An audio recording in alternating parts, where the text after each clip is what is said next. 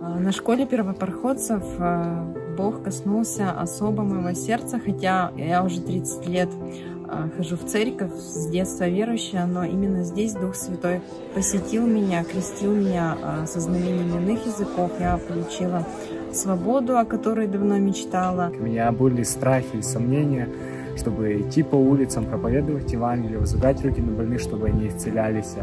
Когда я приехал на школу первопроходцев, я познакомился с замечательными братьями и сестрами, которые двигаются в этом, которые двигаются как апостолы в книге Деяний, и Дух Святой ведет этих людей. Здесь я научился этому, чтобы идти, чтобы идти со смелостью.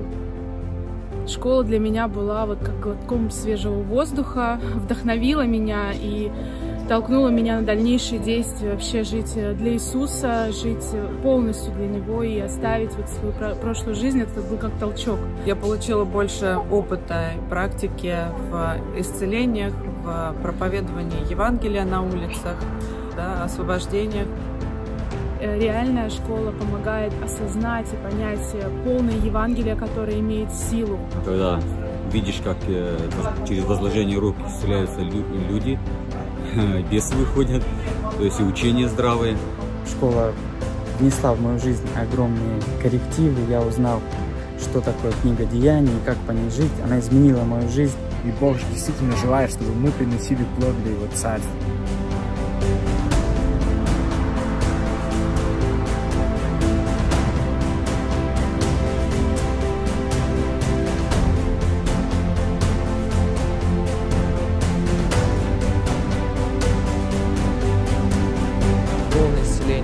Твоя нога вытягивается во имя Иисуса Христа.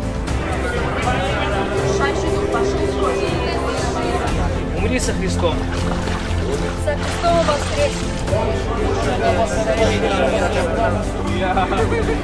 Если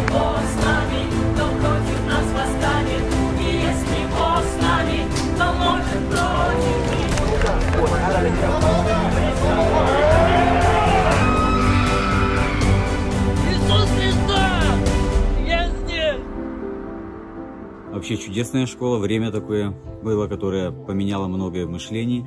Я стал более э, смелым в проповеди Евангелия, понимание вообще. Каждому полезно быть на этой школе, чтобы а, научиться всему, что делал Иисус и что сейчас а, на сегодняшний день делают ученики Его. Настоятельно вам рекомендую побывать на школе первопроходцев, научиться получить здравое учение, здравое Евангелие для того, чтобы нести свет этому миру, как и заповедовал нам Иисус.